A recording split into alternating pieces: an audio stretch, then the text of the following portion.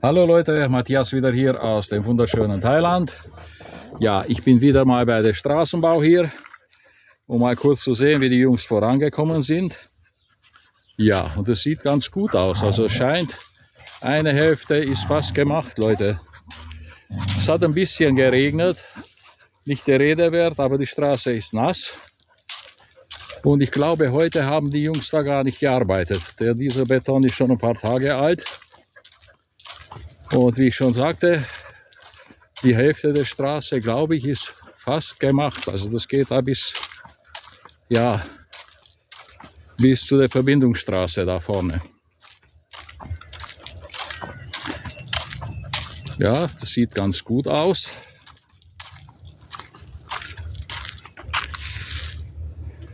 Meine Hunde begleiten mich. Ja, es hat kurz geregnet, jetzt ist die Sonne schon wieder draußen. Ganz verrücktes Wetter.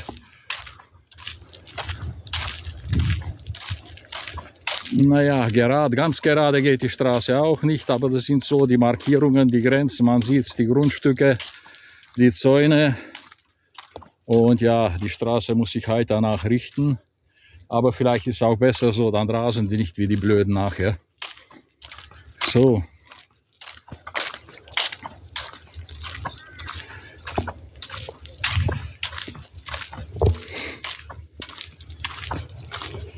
Also ich glaube schon, dass die bis zur Verbindungsstraße da gemacht wird, ja. Das sieht so aus. Das sind noch ein paar Meter jetzt und dann ist da schon die Straße. Ich gehe jetzt nicht mehr bis ganz dahin. Aber ja, ist okay, Leute. Und wie ich schon sagte, Beton ist auf jeden Fall besser als Asphalt. Also man sieht die Straßen mit Asphalt, voll mit Schlaglöchern und so, da ist der Beton doch schon besser. Ja, bald ist dann die Straße auch fertig. Und dann bleibt noch unser kleines Sträßchen. Und wenn das auch gemacht wird, ja, dann kann man da vorne auch bei uns den Beton richtig machen und die Einfahrt und so. Bis dahin, ich lasse erst mal die, die Straße machen und dann kommt der Rest. So, es fängt schon wieder an zu regnen, so eine Art Sonnenregen. Schon der Wahnsinn.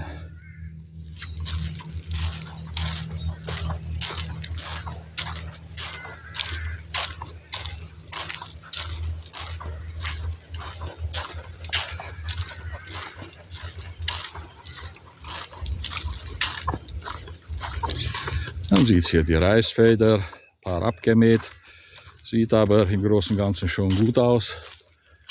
Hier ist eine Tafel, keine Ahnung was darauf steht. Aber da gibt es überall. Naja, da müsste man thailändisch können. Okay Leute, fahren wir zurück. Nicht, dass es noch richtig anfängt zu regnen. Und da haben wir doch ein Problem. Mit dem Saleng ist man zwar ein bisschen geschützt, aber auch nicht so.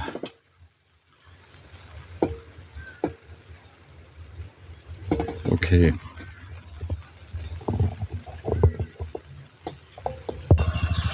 So, und nochmal hier die Reisfelder, das sieht eigentlich auch ganz okay aus. Hier beim Nachbar, der hat Wasser natürlich. Der hat sich da einen Teich gegraben und von daher immer wieder Wasser gepumpt. Da sieht man sein Reis. Ist auch schön gewachsen. Der hat jetzt so diese, ich sage immer Ähren, aber das sind eigentlich Rispen, glaube ich, sagt man beim Reis. Ja, der hat schon die ersten Rispen. Ja, und es fängt wieder an zu regnen. Trotzdem die Sonne scheint. Ganz komisches Wetter, Leute. Ja gut, unser Sträßchen. Immer noch so, wie man es kennt. Okay.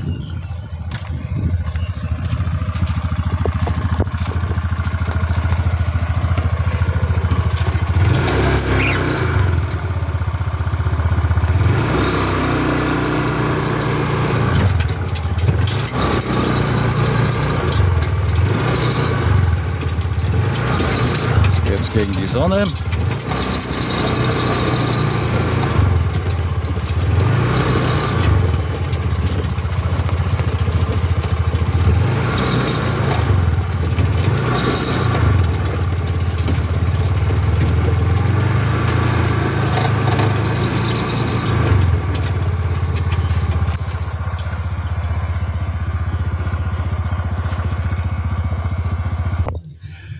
Ja Leute, und jetzt sind wir nochmal bei unserem Reisfeld hier. Das erste, das Schöne.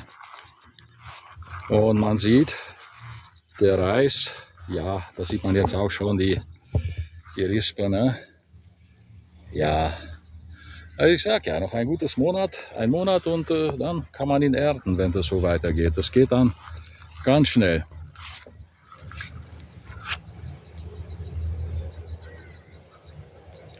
Alles schön grün. Ah, könnte noch ein bisschen Regen gebrauchen vielleicht, was jetzt diese paar Tropfen, die da gefallen sind, ist eigentlich gar nichts. Aber gut.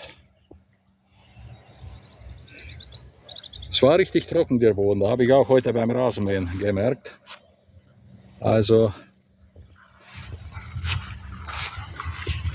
ein bisschen Regen würde mit Sicherheit noch gut und man sieht, wie hoch der Reis hier ist, Leute. Also, das ist schon der Wahnsinn. Hey! Die sind ständig beim Raufen. Der Namchok und der Oliv, ne? Die knurren sich ständig an. Also Leute, hier das Feld sieht gut aus, die anderen sind nicht so schön, habe ich bereits schon gesagt, aber so ist es nun mal, wenn kein Wasser da ist, ja, okay. So Leute, und jetzt schauen wir uns noch mal an, was der Matthias so heute gemacht hat hier. Also hier mal neben dem Pool gemäht. Und ja, das sieht sehr schön aus und ein bisschen Regen, der tut jetzt natürlich auch gut. Dass das alles schön grün bleibt. Der Pool immer noch so, wie man ihn kennt, aber wie gesagt, die nächsten Tage kommt da Wasser rein, stufenweise. Und somit versucht man dann auch die Folie ein bisschen zu glätten, den Boden. Aber äh, nee, die Falten werden bleiben. Vielleicht nicht mehr so viele, aber ich mache mir da keine Illusionen, dass die vielleicht weggehen. Nee. Aber solange dicht ist, bleibt es so. So, hier die Hecke ist ja auch soweit okay.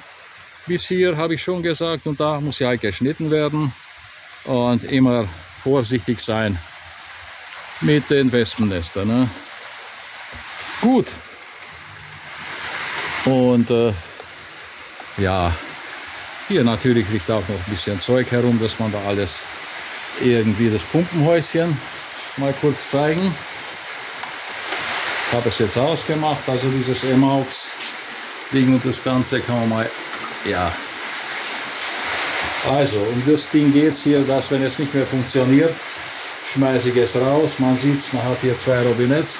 Die mache ich zu dann und dann wird das Wasser wieder hier und bleibt dann einfach ein Chlorpool ohne Salz. Sollte es noch funktionsfähig sein, dann muss ich wieder Salz reintun und vielleicht hier das mal rausdrehen und ein bisschen sauber machen. Ja, das sollte eigentlich der, der Chang hier, der sich mit dem Pool auskennt, machen. Ne? Und ansonsten, ja, ich tue jetzt den Strom wieder ab. So, das ist der Filter, nochmal ein kleiner Filter und äh, so sieht es aus. Ist, äh, nichts Besonderes. Und es ist ein Sandfilter, wie gesagt, den muss man dann auch, den Sand und Filter auch austauschen. Das wird dann von hier so aufgemacht und der Sand ausgetauscht. Alle fünf Jahre oder so. Manche machen es früher, manche später. Ja. Okay. Dann hier habe ich auch noch gemäht. Muss natürlich die Hecke auch noch geschnitten werden, wie man sieht. Und hier neben dem Wassertank, also beziehungsweise unten, das ganze Gras da irgendwie wegmachen. Da muss man immer aufpassen, da können auch Schlangen sein und Skorpione und das ganze Zeug.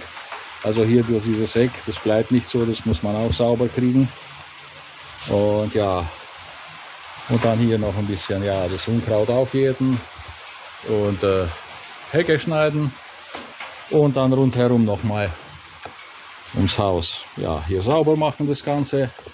Und dann ist es okay, Leute. So viel Arbeit ist es ja auch nicht. Das ist ja jetzt die Fläche nicht so groß. Ne?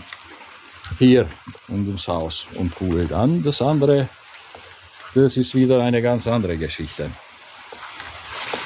Da braucht man mehr Zeit und wahrscheinlich auch Hilfe. Hier habe ich auch gemäht. So,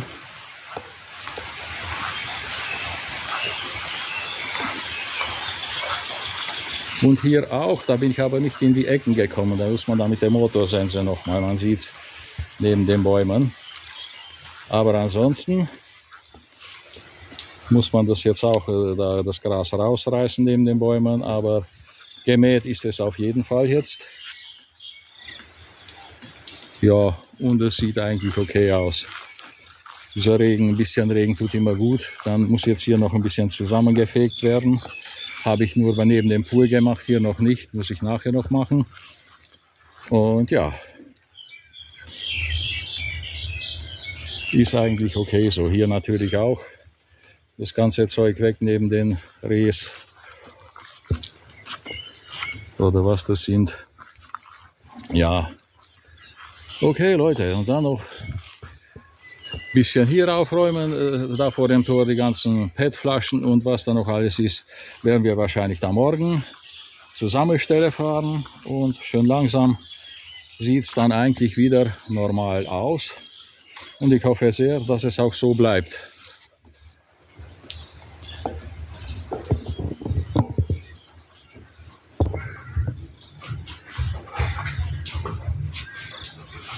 So Leute, ich habe jetzt die Kamera noch mal eingestellt, einfach so. Geh weg, Olive, bei. Und kann hoffen, dass man mich sieht. Alter, geh weg, Bur. So. Okay, Leute. Und ja, das war's wieder mal heute. Ein Tag mit viel Arbeit, also Rasenmähen. Fast den ganzen Tag mit einigen Pausen, weil die Sonne war teilweise so stark dann, äh, dass man da nicht mehr draußen arbeiten konnte. Aber ja, das war auch wiederum bewölkt, also so ein, ein, ganz komisches Wetter, wie auch jetzt Sonnenschein, Regen. Das ist wie im April in Deutschland, ne? so ungefähr. Ja, aber wie gesagt, langsam kommen wir vor, äh, voran und äh, zumindest hier dieser Bereich, Poolbereich und hier vorne soll es schön aufgeräumt sein. Mit dem anderen kann man sich Zeit lassen, das äh, juckt mich ehrlich gesagt nicht so. Das, äh, ja, aber hier, äh, wo wir uns aufhalten, wo wir wohnen, das muss eigentlich sauber sein, so wie es sich gehört. Ne? Okay Leute, und das war es dann auch schon wieder mal für heute. Und ja, euch noch einen schönen Abend. Und dann bis zum nächsten Mal, euer Matthias aus dem wunderschönen Thailand. Und tschüss.